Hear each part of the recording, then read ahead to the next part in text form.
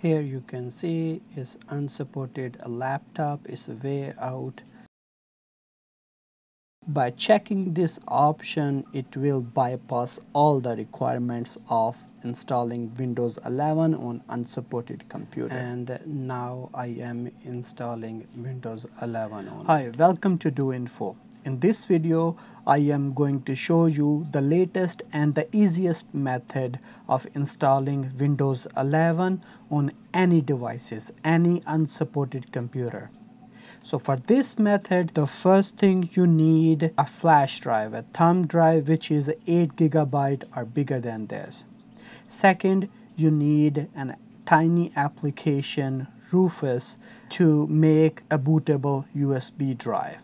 Third, we need a Windows 11 ISO file which we can download from Windows website. So let's start the process. I have connected a thumb drive with this computer. It's a one terabyte. Uh, you can see here is empty. Make sure the drive is empty because after making it a bootable Windows drive, all the data will be removed. Second, once it's connected second we need to download the Rufus 4.7 or whatever the latest version that time would be. I'm going to show you how to install Rufus 4.7 go to your browser and go to the Rufus website. It's a rufus.ie once you go to their official website you can see scroll down currently they have 4.7 version.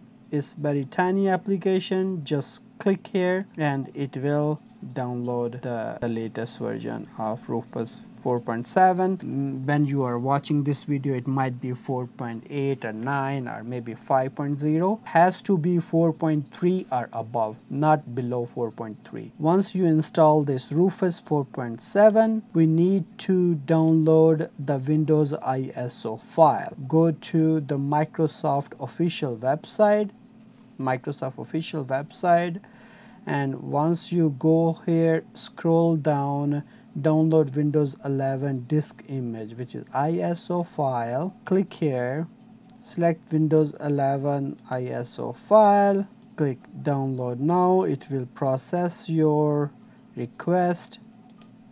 Choose your language. Mine is English United States and then confirm. As soon you press confirm here is your download option. Just click here and it will start downloading the windows will take some time because it's about like a 7 to 8 gigabyte file. You have to be patient in downloading windows 11 iso file.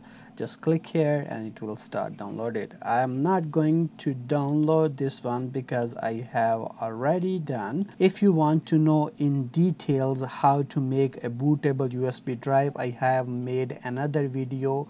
You can see this one and i will also put the link in the description. So now we have USB drive connected, Rufus downloaded, Windows 11 downloaded. Click here on the Rufus application. Sometime it will detect your USB automatically. If don't, this is the tiny arrow you need to click list the USB and you will see it will detect the thumb drive automatically 1 terabyte USB. If your USB is not showing here, you can just click on tiny arrow and select from the list. The second thing you need to change is click here on select file. We need to tell where the ISO file we have downloaded. Mine is on desktop. You can see here here is Windows 11 ISO file. You don't need to change anything else here and the magical thing here as soon you press start it will give you the application. Rufus will give you the application customize Windows installation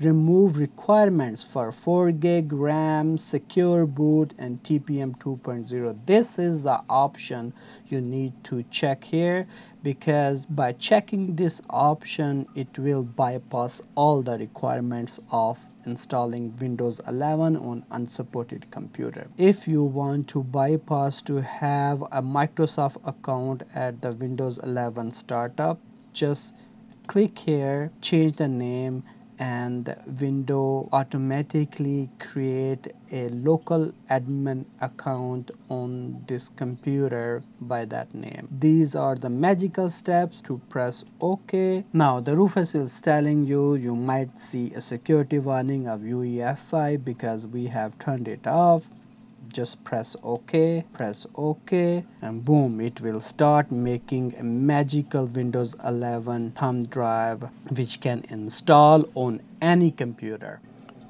Hi so we are back to our unsupported laptop here where we are going to install windows 11 you can see uh, the processor is very old and now we have created our magical Windows 11 bootable USB with Rufus. Let's connect this USB with this computer and install Windows 11 it will open the prompt. Just click on the setup.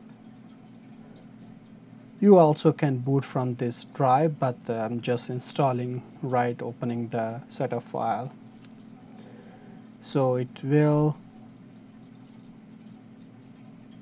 prepare for the windows. I will speed up this process a bit but I'm not gonna skip any steps so you can see everything has been done here. So let's install the Windows 11 getting some updates. Let's fast forward here now you're gonna get this window preparing something press next. Yes. Now you want to keep your files you're gonna select here. Yes I want to keep my all the files. Just far forward here again quickly. Installing Windows 11 this step will take about half an hour sometime 20 minutes I'm gonna fast forward here as well